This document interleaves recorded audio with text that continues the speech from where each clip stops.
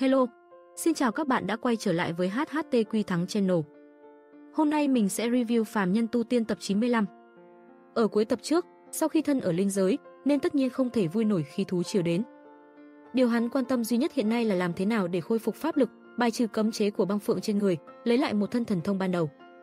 Theo như lời của phân thân Thiên Lan Thánh thú năm đó thì Nguyên Anh tu sĩ cùng hóa thần tu sĩ cứ mỗi 300 năm phải độ qua một lần tiểu thiên kiếp. Hắn tuy hiện tại không có pháp lực nhưng cảnh giới vẫn còn. Ai biết được đến khi nào thì thiên kiếp buông xuống. Nếu thực sự phải tiếp thiên kiếp của hóa thần kỳ thì với tầng 4 kim cương quyết hiện nay, không sử dụng các pháp bảo khác thì chết là không phải nghi ngờ. Vừa nghĩ tới việc này, thân sắc Hàn Lập trầm xuống. Phương pháp tốt nhất để giải quyết việc này là mau chóng tìm được băng phượng rồi giải trừ cấm chế của nhau. Hắn và nàng ở trong không gian tiết điểm gặp phải chuyện ngoài ý muốn. Băng phượng này dựa vào thiên phú không gian thần thông có thể xé rách không gian mà thoát khỏi tiết điểm. Hẳn là cũng đang ở linh giới, hiện giờ bởi vì bản thân đang bị cấm chế khiến pháp lực hoàn toàn biến mất. Có thể cấm chế do bản thân hạ xuống người băng phượng cũng có thể phát tác, cấm chế của hắn lợi hại thế nào hắn là người rõ nhất. Chỉ sợ tình hình của yêu nữ này còn không bằng mình hiện nay. Nhưng cho dù có pháp lực đầy đủ mà muốn trong khoảng thời gian ngắn tìm được đối phương tại linh giới rộng lớn này cũng là không có khả năng. Tại tam cảnh thất địa đều có những tồn tại hơn hẳn hóa thần. Hiện giờ ngay cả năng lực tự vệ cũng không có, vậy sao có thể tìm được đối phương? Điều này quả là mơ mộng hão huyền. Việc khôi phục pháp lực chỉ có thể trông chờ vào bản thân. Vốn dĩ hiện tại hắn ngay cả một tia linh lực đều không thể hấp thu, không thể đem các thần thông bí thuật ra thi triển, một lần nữa tu luyện lại pháp lực cũng là điều không có khả năng. Còn về phần tìm tu sĩ cao giai khác hỗ trợ thì chỉ sợ sẽ phát hiện ra bí mật trên người hắn. Loại phương pháp này căn bản là tự tìm chết. Hàn Lập ngồi ở trên ghế, sắc mặt âm tình bất định hồi lâu. Xem ra chỉ có thể đi theo con đường lúc đầu đã chọn. Ánh mắt của hắn chớp động, thấp giọng thì thào một câu, gương mặt có chút lo lắng. Trước khi đến An Viễn Thành, Hàn Lập đã sớm nghĩ đến chuyện khôi phục thần thông. Trải qua hơn nửa tháng hòa nhập cùng nhóm phàm nhân, ngồi phân tích nhưng hắn chỉ nghĩ ra được một biện pháp. Phương pháp này chưa cần nói có tốt hay không, chỉ là thời gian hao tổn cũng sẽ không ít. Hơn nữa do lúc đầu hắn còn không hiểu biết về linh giới nên trong lòng còn do dự. Nhưng hiện nay cũng đã có những hiểu biết nhất định về linh giới nên sau khi chậm rãi phân tích, hắn không thể không chọn phương pháp này. Nhất định phải tu luyện Kim Cương Quyết đến đại thành. Theo như điển tịch quyết điển này ghi lại thì sau khi đem Kim Cương Quyết tu luyện đến tầng thứ 7 thì chỉ bằng thân thể đã có thể ganh đua ngắn dài cùng Nguyên Anh tu sĩ. Như vậy cũng có thể nói, chỉ bằng thân thể cũng có thể bài xuất cấm chế của băng phượng ra khỏi người. Tới lúc đó, hắn tu luyện lại pháp lực một lần nữa, ngưng tụ lại Nguyên Anh sẽ đơn giản hơn nhiều. Tuy nói là ngưng kết Nguyên Anh mất hơn trăm năm thời gian, nhưng hắn chỉ cần khôi phục lại một chút pháp lực thì có thể lấy lại túi chữ vật của mình, tránh để ở một địa phương không người như hiện nay. Bằng vào lượng linh đan linh dược mang theo có thể khiến quá trình này diễn ra nhanh hơn mấy lần. Hắn nhất định phải đem cấm chế trong cơ thể hóa giải. Khi đó mới có thể một lần nữa ngưng kết Nguyên Anh, hoàn toàn khôi phục thần thông. Dựa theo suy đoán của hắn thì nếu thực sự thiên kiếp phủ xuống thì đó cũng là chuyện gần 300 năm sau. Nhưng đây cũng chỉ là suy đoán của hắn, vì tiểu mệnh mà suy nghĩ, nên tất nhiên phải mau chóng tu thành Kim Cương Quyết. Việc Kim Cương Quyết tu luyện khó khăn, Hàn Lập đã sớm biết từ miệng Thiên Lan Thánh thú. Cho dù linh giới linh khí nồng đậm vô cùng, có thể sử dụng bí thuật linh khí quán thể nhưng nếu thực sự đem Kim Cương Quyết tu luyện đến đại thành thì cũng rất ít ỏi. Cho dù là có tư chất hơn người cũng căn bản không dám tự tin như vậy. Nhưng Hàn Lập cũng đâu có phải một người bình thường, không chỉ nói là từ khi hắn tu luyện từ phàm nhân lên hóa thần kỳ đã làm cho tâm tính hắn kiên nghị vô cùng, hơn hẳn tu sĩ linh giới.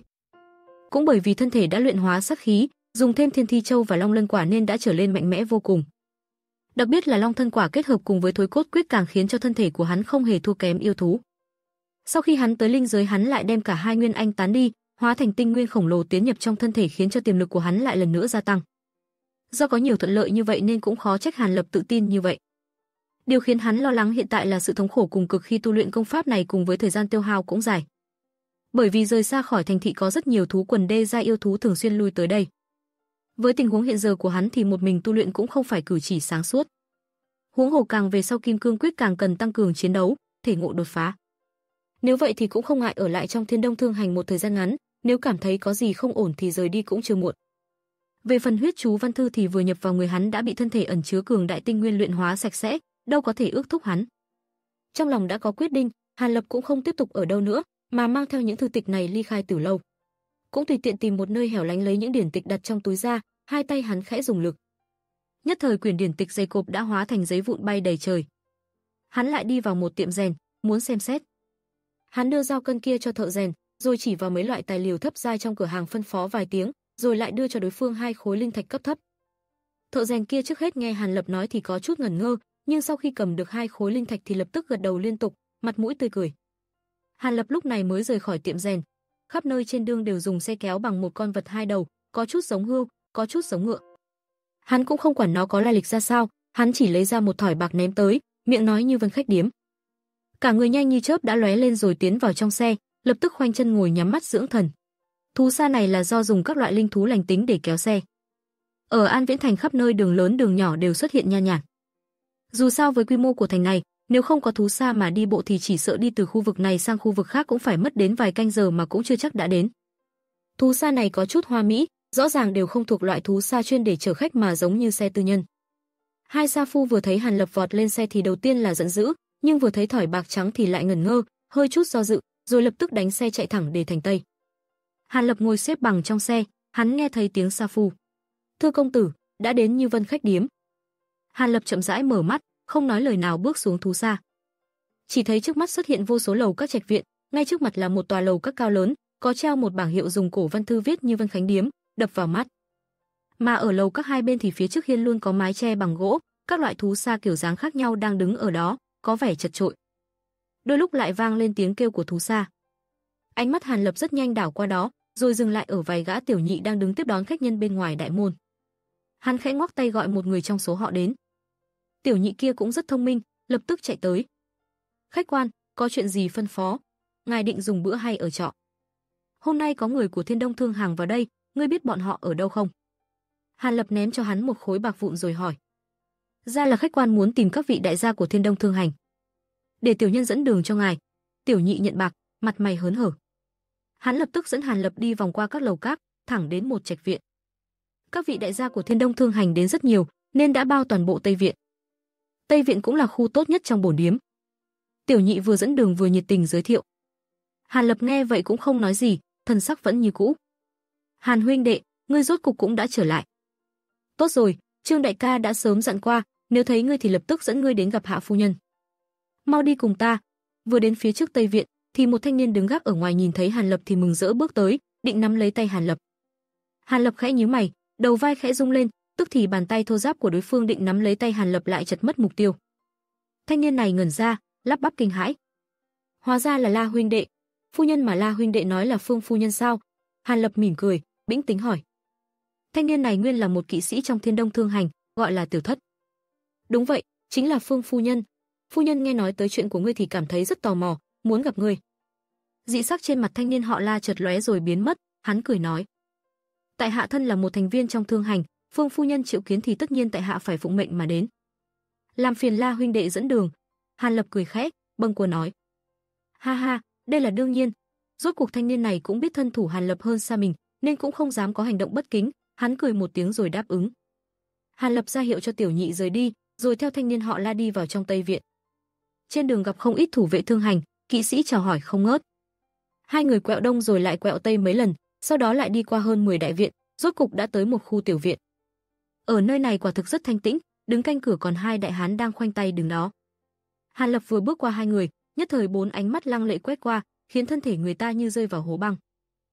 Hàn Lập mỉm cười nói: Hai người này hiển nhiên không phải bình thường luyện thể sĩ, nếu không ánh mắt chỉ đảo qua, khí thế cũng sẽ không kinh người như vậy.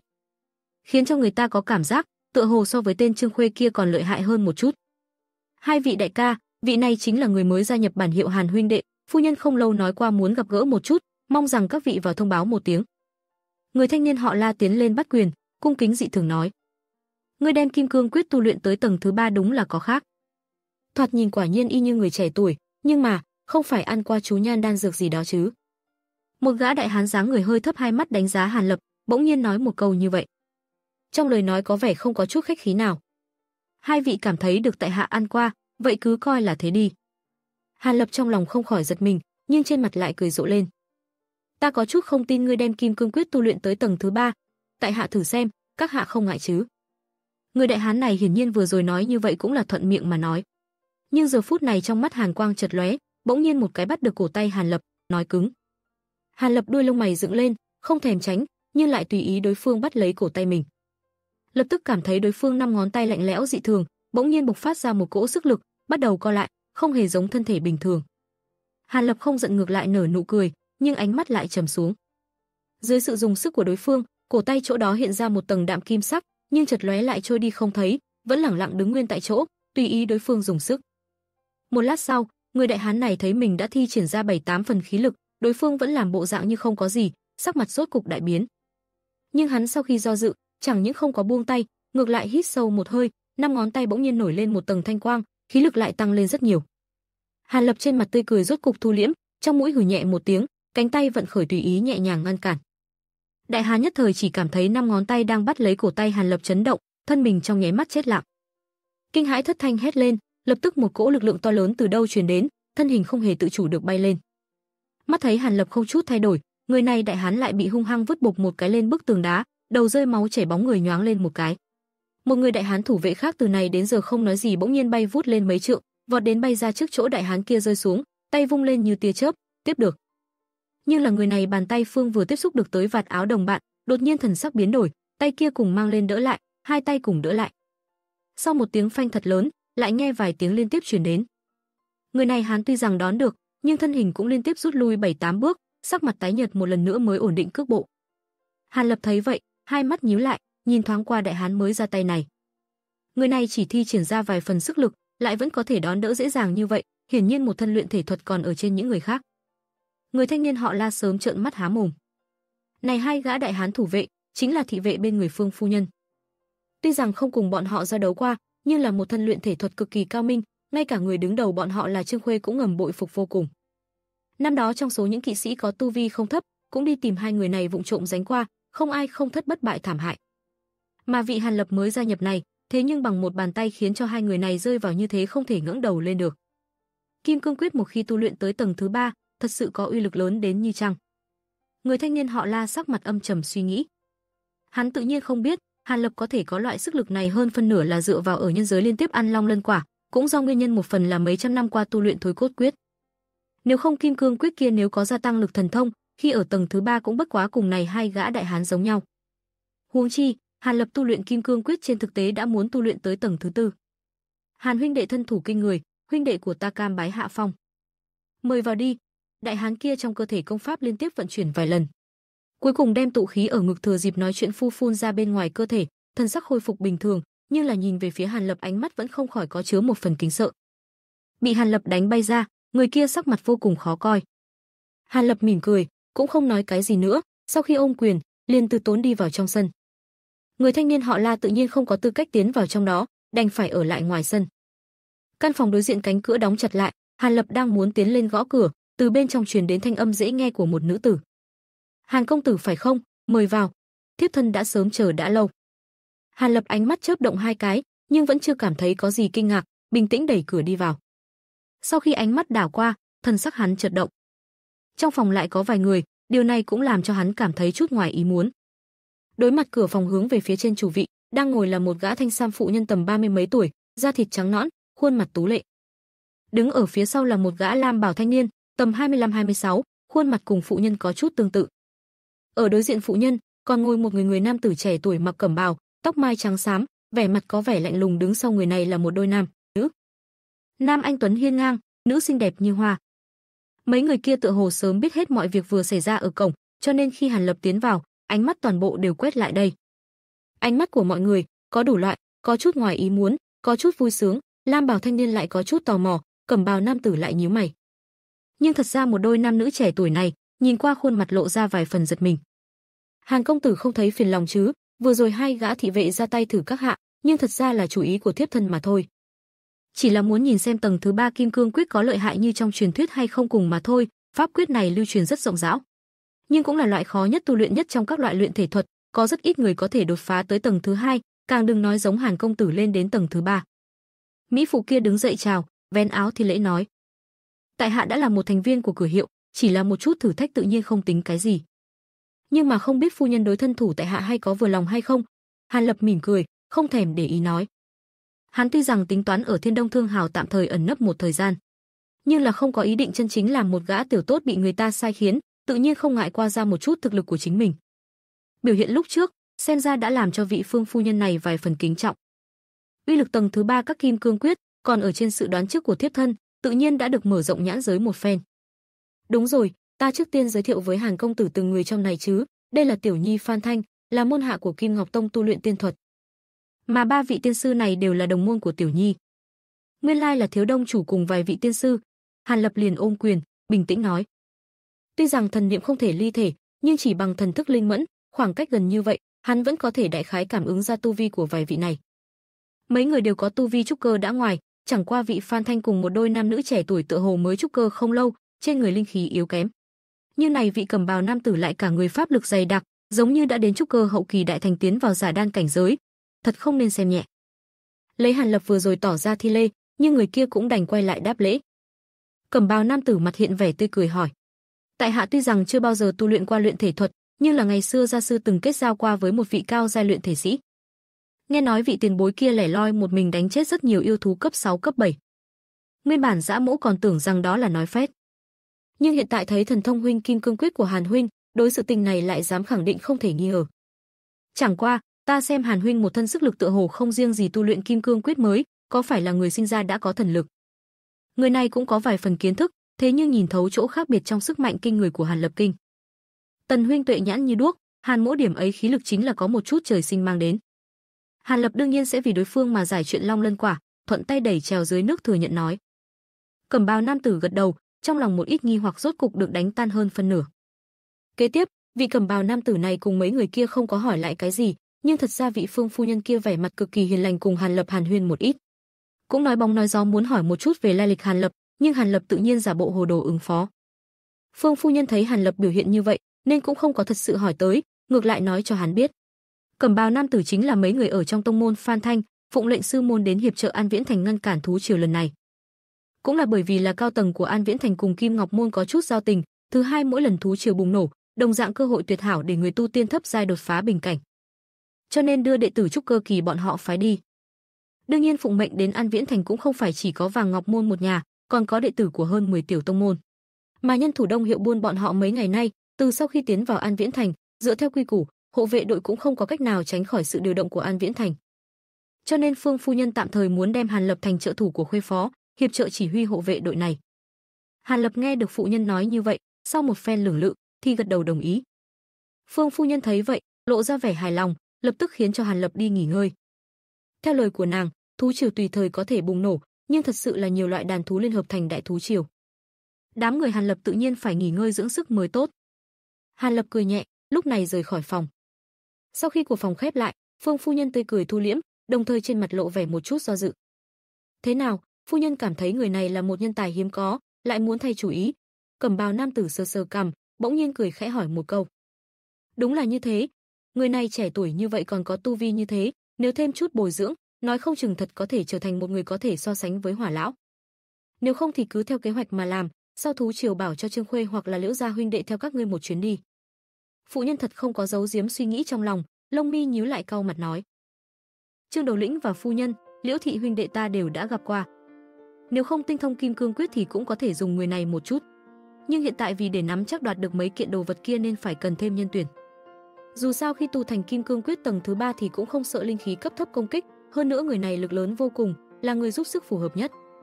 Nếu đổi lại là những người khác thì tỷ lệ thất bại cũng không nhỏ, mà một khi kinh động đến yêu thú trông coi bảo vật thì chúng ta tuyệt không có cơ hội hạ thủ lần hai. Phu nhân chẳng lẽ không muốn Phan sư đệ về sau không có hy vọng kết đan sao? Cẩm bào nam tử nói. Tần tiên sư nói như vậy cũng có lý, cho dù người này thực sự có tiềm lực trở thành hỏa lão thứ hai, nhưng so với việc Thanh Nhi về sau kết đan thì cái nào nặng, cái nào nhẹ ta vẫn biết được. Phu nhân khẽ thở dài một hơi, tựa hồ có chút bất đắc dĩ. Phu nhân làm như thế mới thực sáng suốt, lần thú triều bạo này chính là cơ hội tốt nhất. Yêu thú trông coi vật kia tuyệt không thể khinh thường, cho nên việc này phải cần có người luyện thể, mặc dù nhất định sẽ có nguy hiểm nhưng cũng không nhất định gặp chuyện không may. Chỉ cần sự tình làm xong thì Tần Mỗ sẽ không bạc đãi hắn, mà hắn cũng sẽ không sinh ra lòng oán hận đối với phu nhân. Cẩm bào nam tử trong lòng buông lỏng, nở nụ cười. Tần tiên sư pháp lực cao cường, khi có được vật kia tuyệt đối kết đan không thành vấn đề, về sau còn cần người chiếu cố tiểu nhi một chút. Phụ nhân không nói tiếp lời đối phương, ngược lại tươi cười nhắc đến ái tử của mình. Ha ha, tư chất Phan Tiễn đệ cực tốt, không hề thua kém ta. Ta có thể kết đan thì việc ấy không thành vấn đề, phu nhân cứ yên tâm. Cẩm Bảo nam tử nhìn Lam Bảo thanh niên, ôn hòa nói. Phan Thanh rất biết điều, vội vàng hướng vị sư huynh thi lễ một cái, trong miệng liên tục nói cảm ơn. Cẩm Bào thanh niên ngồi xuống nhìn những nam nữ trẻ tuổi hiểu ý cười. Trong lúc nhất thời không khí có vẻ cực kỳ hòa hợp, Hàn Lập tự nhiên không ngờ mình vừa mới từ nhân giới lên thì đã bị những người này tính kế. Thật không biết có phải hắn được sao thiên sát chiếu hay không, nếu biết việc này thì hắn cũng chỉ có thể giờ khóc giờ cười mà thôi. Chính là một số phàm nhân và vài tên tu sĩ trúc cơ kỳ thế nhưng lại lợi dụng một vị tu sĩ hóa thần kỳ như hắn, quả thực không biết sống chết mà. Cho dù hiện tại pháp lực hắn không còn nhưng cũng có thủ đoạn để dễ dàng gạt bỏ bọn họ. Hiện giờ hắn tự nhiên không biết chuyện ở Thiên Đông Thương cho nên vừa ly khai tiểu viện liền đi theo đám người đại hán mặt sẹo. Sau đó không lâu Hàn Lập nhận được nhận chức phó lĩnh đội, tự nhiên liền có người không phục. Nhưng trước mặt mọi người Hàn Lập lại có một chút thần lực khiến ai cũng đều kinh hãi im lặng. Hàn Lập cũng bởi vậy mà được phân trong một gian phòng yên tĩnh, không cần phải chen chúc cùng những người khác. Mấy ngày tiếp theo hắn lẳng lặng trong phòng nghiền ngẫm pháp quyết Kim Cương Quyết tầng thứ 5. Nguyên bản dựa theo phương pháp tu luyện Minh Vương Quyết, chính là dùng pháp lực cơ thể hiệp trợ tu luyện, nhưng hiện tại sửa thành Kim Cương Quyết nên nhất định phải dùng linh khí quán thể. Phương pháp tu luyện xa lạ như thế cho nên trước tiên không thể không tìm hiểu, rồi sau đó mới thật sự bắt tay vào tu luyện. Nhưng đến ngày thứ ba Hàn Lập lại ly khai khách điếm một chuyến, không biết đi đâu mà nửa ngày sau mới về. Ngoại trừ một số người để ý thì phần lớn thậm chí không biết Hàn Lập đã từng đi ra ngoài. Tới ngày thứ bảy, theo thói quen Hàn Lập đang ở trên giường nhắm mắt, bỗng nhiên một tiếng động thật lớn từ ngoài phòng truyền đến, làm cho cả khách điếm đều rung động. Hàn Lập cả kinh mở hai mắt ra. Tiếng oanh long long vang lên liên miên không ngừng, trong thành thị lại vang lên những tiếng hò hét, dường như tất cả các nơi trong thành đều biết. Hàn Lập nhướng mày, không nói hai lời đẩy cửa phòng đi ra. Chỉ thấy ở phía tây viện đã xuất hiện một đoàn kỵ sĩ hộ vệ, ai cũng cầm binh khí ra khỏi phòng, trên mặt ẩn chứa sự hưng phấn dị thường cùng vẻ chờ mong, mà cũng có người lộ ra vẻ sợ hãi. Vội cái gì, cho dù thú triều tới đây thì đợt thứ nhất cũng không tới lượt chúng ta, cả đám cứ về phòng nghỉ ngơi đi. Đến phiên chúng ta thì lúc đó không còn nghỉ ngơi được đó. Một thanh âm mạnh mẽ từ trong viện truyền ra, lớn tiếng mắng chúng hộ vệ đang hỗn loạn. Những hộ vệ kia vừa nghe đại hán mặt sẹo hét lên thì nhất thời thành thật vào lại phòng, Hàn Lập thấy vậy thì cười. Nghe nói Trương Điều đảm nhiệm vị trí lĩnh đội đã hơn 10 năm, nên có thể thấy được uy tín rất lớn. Hàn huynh đệ ngươi trước tiên theo ta quan sát quy mô và chủng loại của đợt thú triều này. Cho dù là đại thú triều thì trong đó cũng có yếu có mạnh. Trương Khuê liếc Hàn Lập một cái rồi đi tới nói. Nếu Trương huynh đã nói như thế thì Hàn Mỗ tự nhiên vui lòng. Hàn Lập ngẩn ra nhưng lập tức cười đáp ứng. Thật ra hắn mặc dù không để tâm đến một số loại yêu thú cấp thấp tạo thành thú triều, nhưng trong lòng cũng có vài phần tò mò. Hiện giờ có thể được mở rộng tầm mắt thì sẽ không từ chối việc này. Hai người đi đến ngã tư đường ở ngoài khách sạn.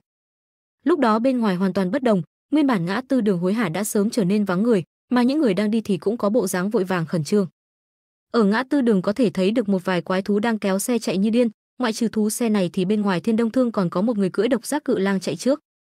Đây là kỵ sĩ mặc phục sức của vệ binh, một bên vừa chạy như bay vừa lớn tiếng tuyên bố thú triều đến và lệnh cho toàn thành giới nghiêm. Mà trong mệnh lệnh cũng nói người luyện thể cùng binh lính trong thành phải thành thật đúng một chỗ, không được tự ý ra ngoài gây cản trở việc chống cự thú triều, nếu không sẽ giết không tha. Ngay khi Hàn Lập cùng Trương Khuê cưỡi một độc giác cự lang hướng về phía tường thành gần nhất chạy đi thì ở một tháp cao, một gã đại hán mặc tử bào đang chắp tay sau lưng yên lặng nhìn ra cửa sổ, sắc mặt cực kỳ âm trầm. Đột nhiên cửa phòng mở ra, một gã giáp sĩ mặc áo giáp màu xanh bước nhanh đến quỳ xuống trước tử bào đại hán, dùng thanh âm trầm thấp nói: "Khởi bẩm tôn chủ, hiện tại đã xác định đàn thú xâm phạm chia làm ba đợt. Theo thứ tự là phỉ thúy thảo nguyên, thanh lang thú ở Hắc Lang sơn mạch và một số mãng thú cùng cầm thú. Quả nhiên ba đàn thú này tấn công, lần này có phiền toái lớn đây. Nếu là đàn thú thanh lang thú hay xích mãng thú cũng đã hơn 300 năm không tạo thành thú triều, chỉ sợ số lượng hiện tại rất kinh người, mà hiện tại lại có thêm cầm thú nên càng khó giải quyết hơn. Lực lượng đối không của bổn thành tuy rằng yếu nhưng đã đến các thành thị mượn một đám cường cung tới. Nhưng tên nỏ bình thường thì không có bao nhiêu tác dụng với cầm thú. Tử Bào Địa Hán khẽ thở dài một hơi, hai hàng lông mày hơi nhíu lại, có vài phần lo âu. Đại nhân không phải là đã đặt làm một đám tên nỏ mới sao? Bằng vào tính chất đặc biệt của nó thì hẳn là có thể bảo vệ không trung. Huống chi lần này còn có các tu sĩ hiệp trợ. Bọn họ cũng có thể phi hành, là trợ lực phòng không rất tốt. Có bọn họ hiệp trợ thì số cầm thú này hẳn là không thành vấn đề. Giáp sĩ nói vài lời an ủi. Hiện tại cũng chỉ có thể nghĩ như vậy, ngươi đem những tu sĩ kia an bài một chỗ, chuyên môn giám thị động tĩnh của cầm thú. Thanh lang và xích mãng thú thì giao cho luyện thể sĩ và binh lính bình thường ứng phó là được. Đúng rồi, lực lượng chiêu binh cũng nên sắp xếp chỉnh đốn và thay phiên nhau thủ vệ. Tử bào đại hán lại ra lệnh. Vâng, đại nhân. Giáp sĩ đáp ứng một tiếng rồi lui ra đi làm nhiệm vụ. Tử bào đại hán nhìn ra ngoài cửa sổ, sắc mặt âm trầm. Hàn Lập đứng ở chỗ xa trên thành, tuy rằng thần sắc bình tĩnh nhưng nội tâm lại có chút rung động.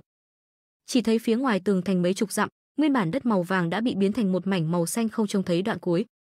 Tựa hồ như biển cả bao phủ, nếu nhìn kỹ thì thấy đó toàn là lang thú màu xanh hình dáng lớn nhỏ không đều, con nào cũng đều lộ ra răng nanh dữ tợn.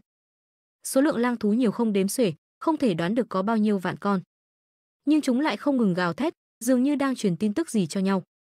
May mắn đây vẫn chỉ là thanh lang thú bình thường, nếu là đụng tới hồng lang hoặc hoàng lang, thậm chí là ngân lang hiếm thấy thì chỉ sợ chỉ bằng vào số lượng này thì Sa Thành đã không thể ngăn cản.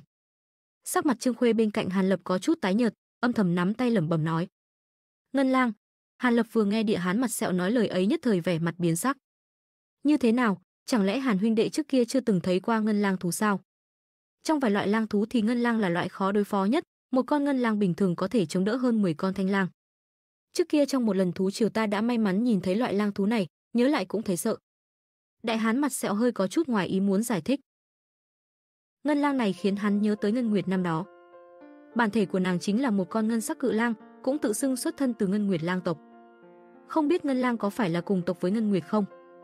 Bất quá mặc kệ suy đoán này là thật hay không, tựa hồ cũng không có một chút tác dụng với tình cảnh trước mắt hắn, rất nhanh đã đem gác lại sau đầu. Nếu là chỉ là lang thú bình thường, cho dù số lượng có nhiều hơn nữa, nhưng nhân tộc chúng ta đã có thành cao tường dày, lang thú cũng không cho chúng ta phải sợ hãi. Đáng sợ chính là trong số đê gia yêu thú thì có một số ít yêu thú thống lĩnh đã mở ra linh trí. Trong đó còn hỗn loạn không ít dã thú xen vào cùng yêu thú.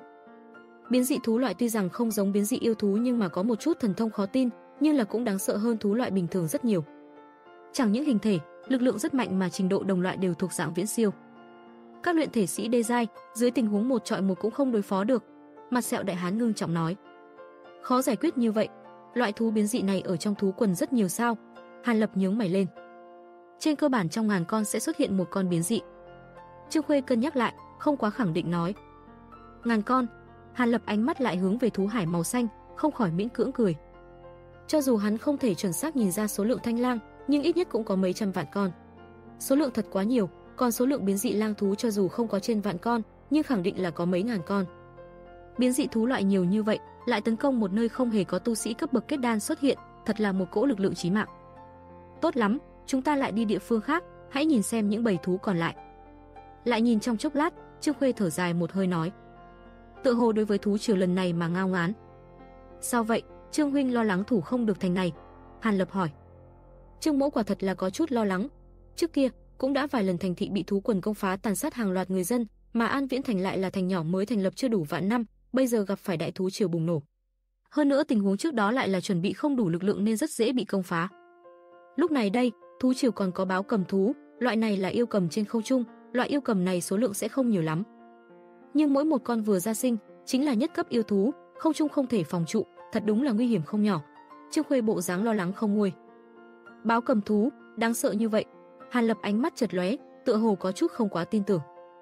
Báo cầm thú luận thân thể thực lực, ở trong số yêu cầm cũng không tính là mạnh, nhưng là do chúng được tạo hóa ban cho cơ thể phát ra một loại kịch độc, người thường gặp phải liền chết ngay. Nên không thể gần chúng để chiến đấu, biện pháp duy nhất chỉ có ở xa đánh chúng rơi xuống. Nhưng loại yêu cầm này thường ngang tàng, nhưng có điều rất linh hoạt, tốc độ rất khá. Nếu là lực lượng chiến đấu trên không không đủ, rất khó phong trụ chúng nó, mà đối với An Viễn Thành mà nói thì lực lượng chiến đấu trên không đúng là điểm yếu. Trương Khuê chậm rãi nói, không đủ lực lượng chiến đấu trên không, như thế nào lại có chuyện này? Chẳng lẽ thành chủ An Viễn Thành không biết độ nghiêm trọng của việc này? Hàn Lập cảm thấy bất ngờ. Hiện tại hắn đã biết, tất cả quyền lực bên trong thành thị dường như đều nằm trong tay thành chủ. Biết thì có ích lợi gì? Nghe nói thành này tại lần thú triều trước đã tổn thất nghiêm trọng, lực lượng nguyên bản bị tiêu hao hầu như không còn. Hiện tại có thể khôi phục lực lượng phòng ngự thế này thì đã khiến thành chủ tao tổn rất nhiều tâm tư. Nghe nói còn hướng về các thành thị phụ cận mượn một ít binh khí cùng binh lính.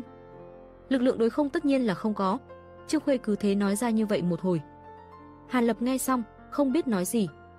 Không lâu, Hàn Lập đi theo hắn tử mặt sẹo đứng ở một mặt khác trên tường thành. Lọt vào trong tầm mắt là hàng loạt những con mãng xà cao quá một trượng hình thành hồng sắc thú hải, thoạt nhìn so với thanh sắc lang quần còn làm cho người ta sợ hãi hơn.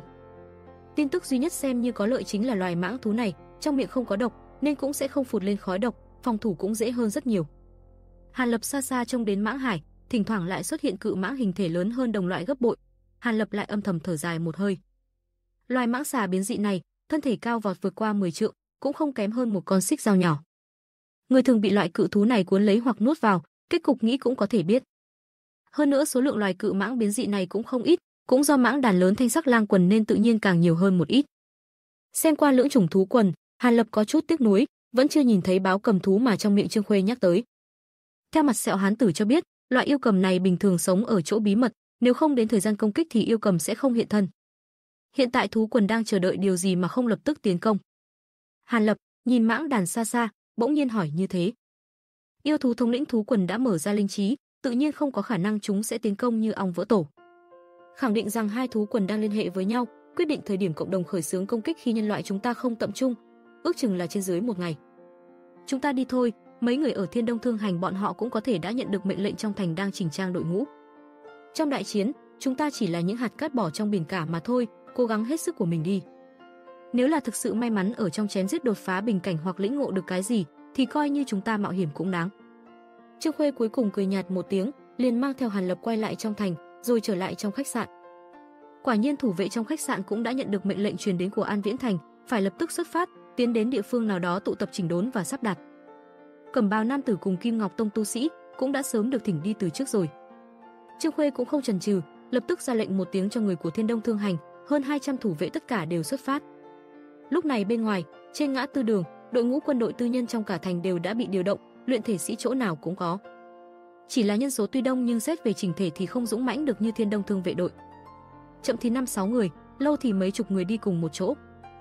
Qua một chút, có một đoàn người đi tới, gây ra sự chú ý rất lớn. Trong đó có hơn 50 kỵ sĩ cưỡi trên độc giác cự lang, càng thu hút sự chú ý của mọi người.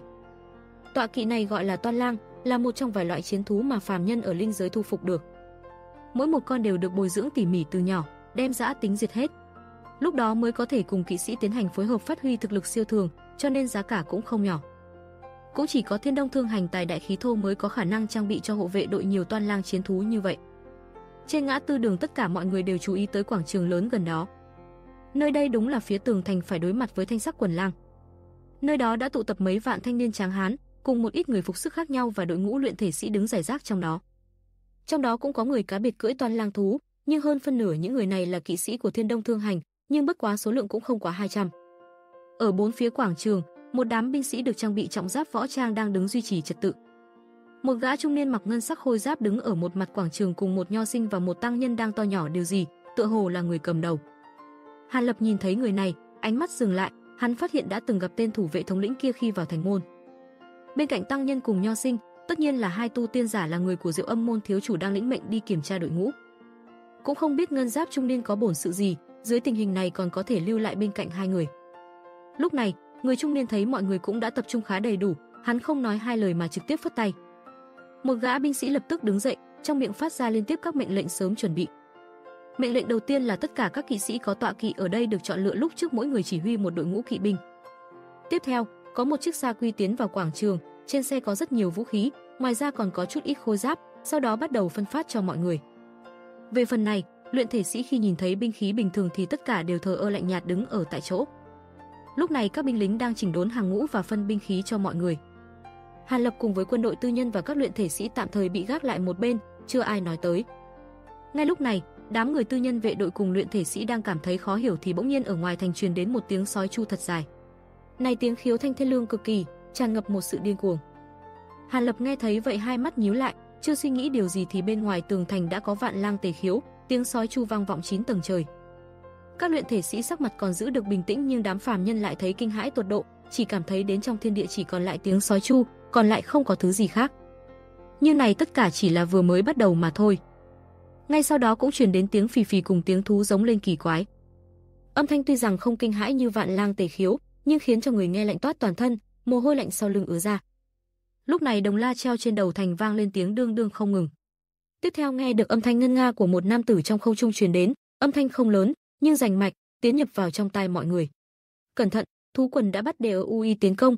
Giọng nói này là của một bạch bào tu sĩ trúc cơ kỳ, chân đạp phi kiếm, đứng ở không trung lên tiếng thông báo. Lúc ấy, trong không trung không phải chỉ một người phát ra cảnh báo, mỗi một nơi trên không đều có một gã tu sĩ ngự khí huyền phù ở đó, tất cả đều phát ra âm thanh cảnh báo toàn bộ An Viễn Thành. Nhất thời cả An Viễn Thành xôn xao, quân đội đã sớm chấn chỉnh chờ phân phó, lệnh vừa phát ra, tất cả nhanh chóng xuất phát đi lên tường thành. Trên tường thành có lắp một chiếc cung rất lớn, hiện cũng lập tức có người đứng ở phía sau, chuẩn bị sẵn sàng. Tại trận, mọi người còn đang thất thần thì ngân giáp trung niên lại quát lớn một tiếng, đẩy nhanh tiến độ phân phát vũ khí. Rốt cục cũng có người lại đây, Hàn Lập cũng có những hiểu biết sâu sắc hơn về lực lượng của nhóm luyện thể sĩ. Bởi vì đại chiến sắp tới, nên tất cả các luyện thể sĩ kiệt ngạo bất tuân cũng cực kỳ phối hợp với nhau. Chỉ một lát công phu, đã chia ra làm 10 đội, mỗi đội 200 người. Chỉ riêng Thiên Đông Thương Hành đã có hơn 200 người, tất nhiên làm thành một đội. Thanh niên tráng hán được phân làm đội hậu bị, nhưng thật ra luyện thể sĩ cùng quân đội tư nhân đều được phái lên trên tường thành, hiệp trợ lính thủ thành phòng ngự. Nhắc tới thì cũng vừa khéo, không biết có phải nhóm người của Thiên Đông Thương Hành rất đáng chú ý hay không mà ngay nhóm thứ nhất đã có sự hiện hữu của bọn hắn. Kể từ đó, Hàn Lập cùng 200 hộ vệ Thiên Đông Thương Hành được phân lên trên tường thành thực hiện công tác thủ thành cùng với hơn ngàn lính canh lúc đầu. Hàn Lập đứng ở trên tường thành nhìn về phía xa xa, chỉ thấy thanh sắc lang quần đã đình chỉ việc chu lên, chậm rãi kéo tới nơi này. Cả một vùng màu xanh phảng phất như thanh sắc thảo nguyên đang di động, không nhìn thấy điểm cuối. Nhiều thanh lang như vậy đang tiến đến, tiếng soạt soạt liên tiếp vang lên, như lại rất có nhịp điệu. Bất giác cả lang quần toát lên một khí thế kinh người, khiến mọi người trên thành cảm thấy một cỗ áp lực rất lớn. Sắc mặt của rất nhiều binh lính đã trở lên tái nhợt. Cũng không có ai còn tâm tư mà hô hào sĩ khí trước khi chiến đấu. Đối với người bình thường mà nói, thành bị phá thì kết cục của bọn họ cùng người nhà trong thành là táng thân vào bụng sói. Nên cho dù rất sợ hãi nhưng vẫn kiên quyết ngăn cản thú quần, liều mạng chống cự. Cho nên tại các nơi trên tường thành, các đội trưởng và quan quân cấp thấp chỉ hạ một vài mệnh lệnh tác chiến rồi không nói thêm gì nữa, chỉ lặng lặng sẵn sàng nghênh địch. Lang quần tiến tới cũng không tính là nhanh, nhưng cũng dần dần áp tới, ngày càng khép lại vòng vây. Trong lang quần, có một số biến dị lang thú thân thể to gấp đôi thanh lang bình thường. Loại biến dị lang thú này phân tán khắp nơi trong lang quần, tuy toàn thân cũng có màu đạm thanh sắc nhưng hai mắt mắt đã biến thành màu thúy lục đầy yêu dị, phảng phất như nó có linh tính nhất định. Nhìn đến đây, Hàn Lập khẽ nhíu mày, nhóm lang thú này quả thực không dễ đối phó. Huống hồ, lúc này hắn cùng một đại hán cao to vạm vỡ khác đang phụ trách một đoạn tường thành phía sau. Kiến nghị này cũng là do Trương Khuê đã từng trải qua mấy lần thú triều đề ra. Hai người bọn hắn chỉ chuyên môn phụ trách bảo hộ người chỉ huy. Dù sao nếu người này xảy ra chuyện thì công tác phòng thủ nhất định sẽ rơi vào hỗn loạn. Cự hán vạm vỡ kia là một luyện thể sĩ của Thiên Đông thương hiệu, phương pháp tu luyện của người này khiến thân thể biến lớn, sinh ra cự lực. Thân người càng lớn thì khí lực càng kinh người, nghe nói hắn đã tu luyện đến cánh giới cực cao. Trước khi Hàn Lập tới thì hắn chính là lực sĩ khỏe nhất trong Thiên Đông thương đội. Hàn Lập đảm nhận vị trí hộ vệ đội phó, trong những người không phục cũng có cả người này. Chẳng qua khi Hàn Lập nâng lên một khối sơn thạch nặng cả ngàn cân rồi dễ dàng ném lên không trung thì khiến cả đám sợ hãi, tự nhận không bằng. Hàn Lập đang cầm trong tay một thanh bối đao to dày, mà đại hán lại cầm một thanh lang nha bổng đặc chế dài hai trượng, hai người một tả một hữu đứng phía sau quan quân.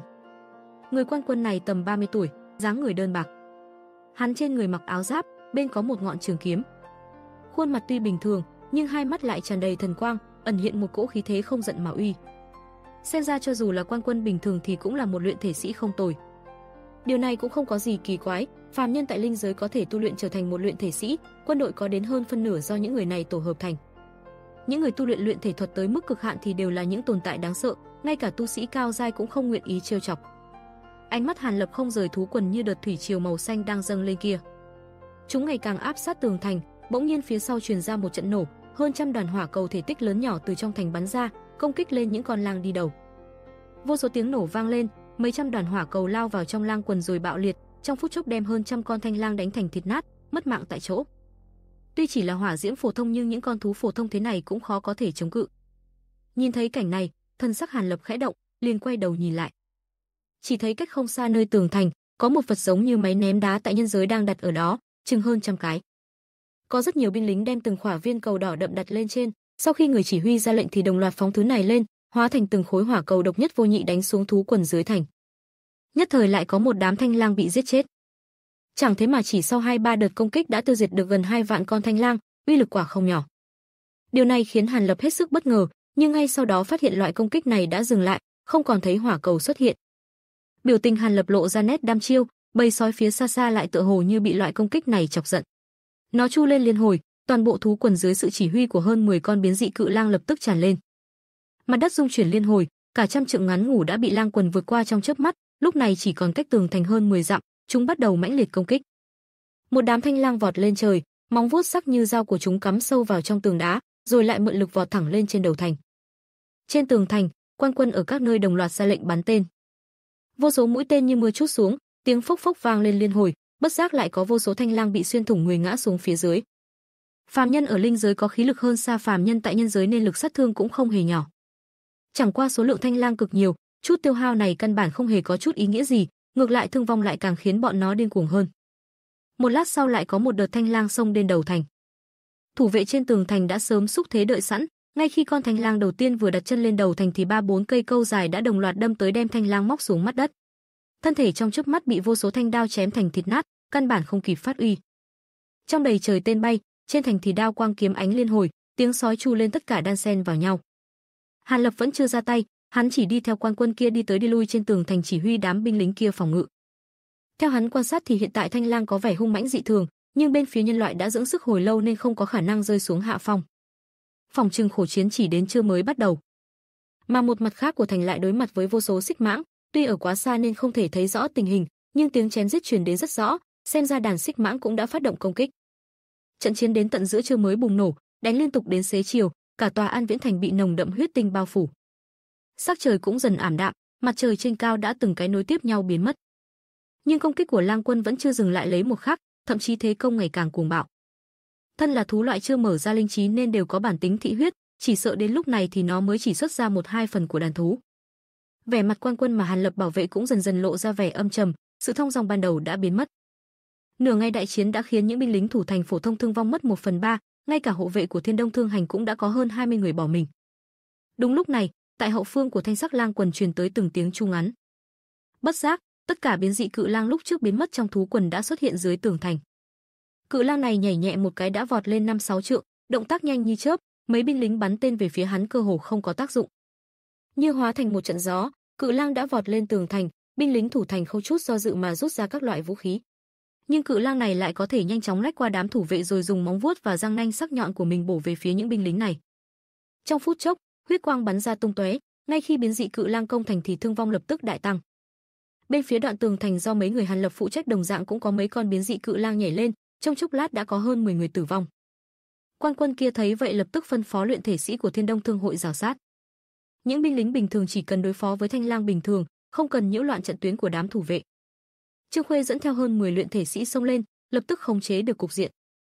Nhưng đột nhiên binh lính phía phụ cận thét lên kinh hãi, trên tường thành bỗng có hai luồn thanh ảnh chợt lóe. Có hai biến dị cự lang nhảy lên đoạn tường thành gần đó, một trong hai con lao trực tiếp vào trong đám binh lính bình thường khiến trận tuyến của bọn họ đại loạn, một con khác trực tiếp lao về phía quan quân. Chúng nó cũng biết người mặc khôi giáp này chính là chỉ huy, nên cũng đồng dạng dùng kế sách dương đông kích tây. Muốn chết. Cự hán hét vang, lang nha bổng trong tay vung lên rồi xé gió đập xuống, đập thẳng về phía cự lang. Cho dù thân thể cự lang có cứng cỏi hơn thanh lang bình thường nhưng nếu bị dạng binh khí này đập chúng cũng chắc chết. Đến đây thì cũng khép lại tập 95 phàm nhân tu tiên. Xin chào và hẹn gặp lại các bạn ở những video tiếp theo.